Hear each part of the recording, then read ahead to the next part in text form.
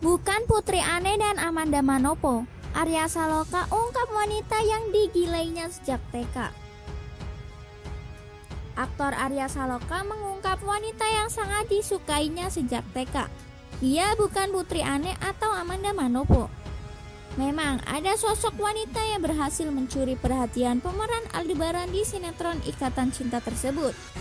Arya Saloka pun mengakui dia menjadi semangat sekolah gara-gara terpikat dengan pesona wanita satu ini.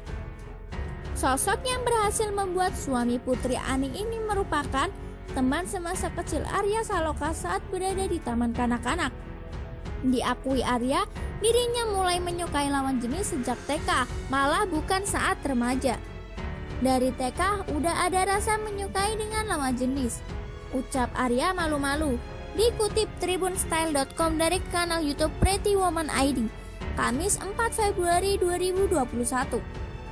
Mendengar pengakuan Arya Saloka, Ruri selaku host sontak kaget tak percaya. Sejak kecil ya gila, ucap Ruri Masrur kaget. Istimewanya di taman kanak-kanak itulah Arya kepincu dengan seorang wanita. Sosok wanita ini ternyata sukses membuat Arya benar-benar menyukainya. Bahkan wanita tersebut juga menjadi sumber semangat Arya untuk rajin berangkat ke sekolah. Saat ditanya perihal sosok wanita tersebut, sikap Arya pun kembali membuat shock sang host. Bagaimana tidak, hingga saat ini pemeran Aldebaran ini ternyata masih mengingat betul nama lengkap sang idola.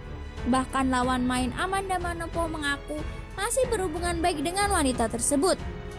Sontak melihat Arya yang masih ingat dan tak malu menyebut nama wanita tersebut, sang host pun terkekeh. Bahkan ia pun menyebut jika wanita tersebut pasti nonton dan merasa sangat bangga.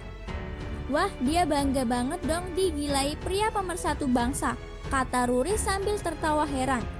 Arya pun menjelaskan jika hingga saat ini ia masih sering berkomunikasi dengan Feby Nusita Sarina Sution. Saya mah jujur, saya masih kontak-kontakan sama dia. Masih yang apa kabar lu? Ungkap Arya Saloka. Sama seperti Arya, Feby ternyata kini juga sudah menikah dan memiliki anak.